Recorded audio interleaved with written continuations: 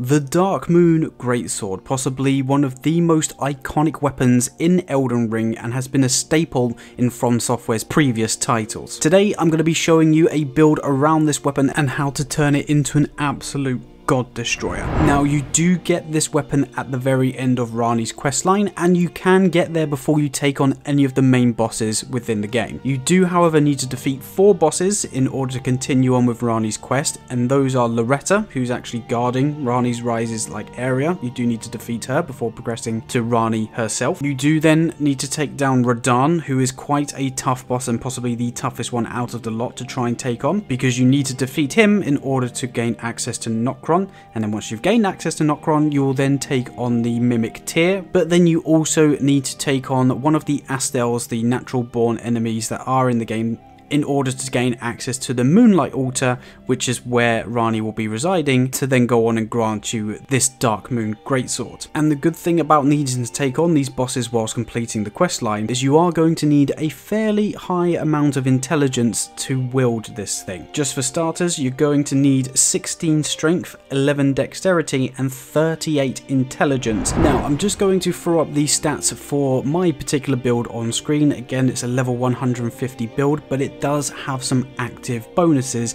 in play with the numbers you're seeing right here. In actual fact, because I've got Godrick's Great Rune, Marika's Soreseal, and the Intelligence Heirloom, in reality, the base stats that we have without any boosts on is 35 Vigor, 25 Mind, 29 Endurance, 20 Strength, 15 Dexterity, 70 Intelligence, 25 Faith, and 10 Arcane. As I mentioned, we're using the Godrick's Great Rune, which grants plus 5 on all of the stats. It's just the best Great Rune you should be using. You don't really need to be using anything else ever whenever playing Elden Ring.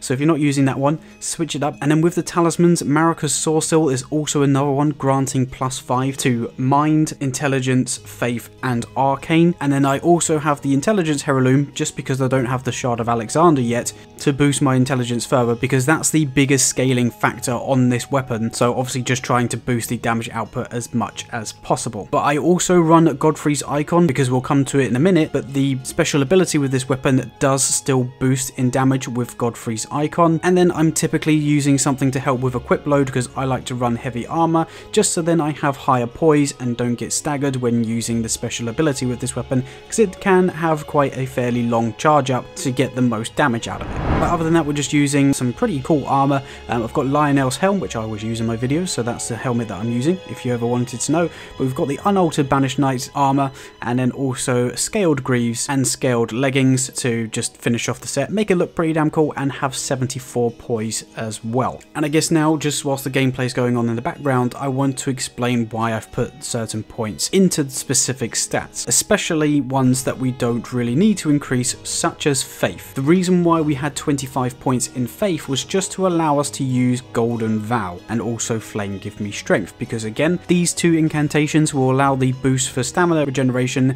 damage negation, and also damage output. These are obviously very handy uh, when coming up against bosses, allowing you to survive longer and just hit through bosses like an absolute freight train. The Dark Moon Greatsword special ability, the Ash of War or skill power, will infuse the sword with that Dark Moon energy, which is also freeze build up against enemies. Once you infuse the weapon with your Ash of War, you can then hold down your heavy attack to unleash this wave of ice cold magic. If you hit an enemy with this wave, it will still hit with 35 stance points, even though you're not hitting them with the physical sword. And just in layman's terms for both myself and you guys, that means that we can stagger pretty much most bosses in about three or four hits. And again, as you're probably seeing in the gameplay in the background, that's fairly easy to do without too much compromise because you're obviously hitting them at range, and then when they're up close and personal, again, you will just hit them with both the sword and also this ice beam of magic. But not only are you staggering bosses, with about 3 or 4 attacks of this weapon,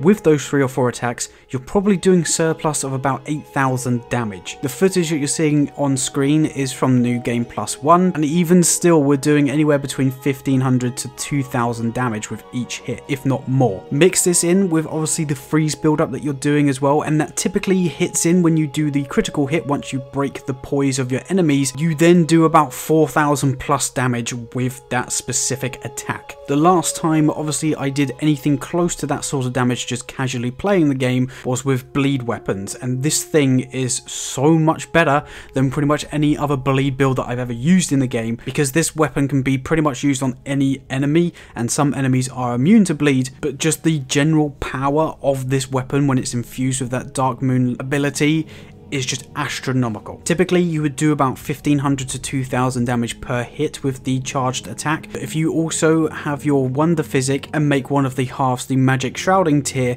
that will then grant an additional boost. I also like to mix this in with the Green Burst Tear because with the Ash of War, once you've used it on the weapon, you are then reliant on stamina in order to carry out those heavy attacks. So having the Green Burst Tear, if you don't have like a different item like a shield that can boost stamina regeneration, the Green Burst Tear is the perfect one for you in order to continue on using the heavy attacks, regenerate stamina nice and quickly, and just keep rinsing that same attack over and over again. As this is an intelligent heavy build, you can also mix in things like Terra Magica and other spells if you wanted to become a spellcaster as well.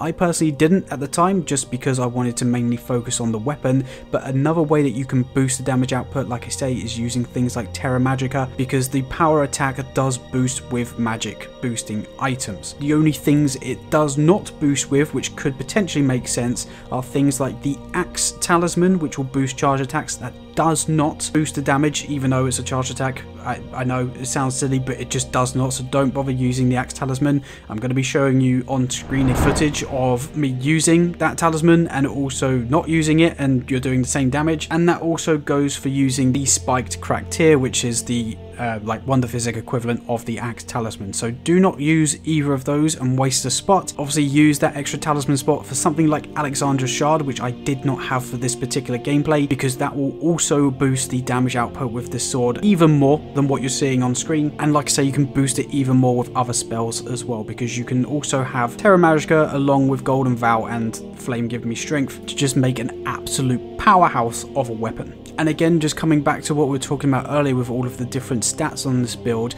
if you are going to be running things like Godrick's Great Rune and also any like of Marika's or Radagon's Soreseals, you can probably alter the points in different stats such as Faith, because as you saw my Faith went from 25 to 35, which I actually don't need the extra 10 points in Faith there.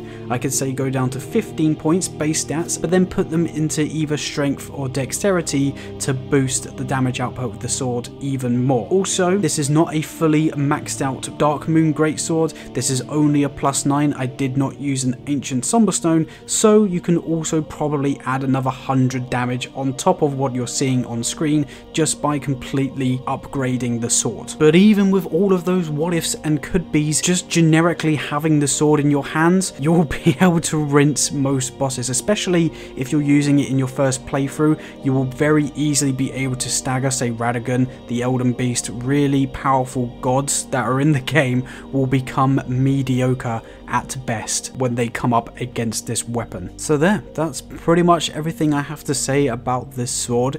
It is truly ridiculous to use so if you haven't used it yet I highly recommend making a build similar to this just to go and have fun with it because it truly is ridiculously overpowered. I know Elden Ring's had a few updates recently, so I don't know how it compares to previous updates. I'm assuming it's probably still similar or hasn't really had any changes. I know Great Swords and like Colossal Weapons had a big update a couple of months ago, but I think since then this thing has just been absolutely insane. Feel free to comment down below if you've got any improvements for this particular build. I know there's probably a hundred thousand different videos out there on YouTube with different builds around the specific sword, but I just wanted to make it as well and put my personal touch on the builds because I've started using it recently and I just wanted to share how freaking insane this weapon is. So let me know if you can make this build any better. As I say, I know you can swap out some talismans, maybe swap out some of the points that I had in my build when considering the uh, great runes and the talismans that I'm using to distribute the stats in the absolute best way possible. But yeah, other than that, I just wanted to say thank you so much for watching. Again, if you happen to like this video, please do leave a like rating down below. It really would mean the world to me as it helps the channel out so much. So if you liked it, hit that button below. And if you're new around here and want to stay up to date for more crazy builds like this, do hit that subscribe button. That way you'll be up to date with everything that happens on this channel and you'll be notified whenever I have a new insane build for your faces. So that's what you'll be getting if you hit that subscribe button. But uh, yeah, I think I've taken up more than enough of your guys' time, so thank you all so much again for watching. I hope you're having an amazing day, and I will catch you in the next video of whatever it is that we make. Bye bye.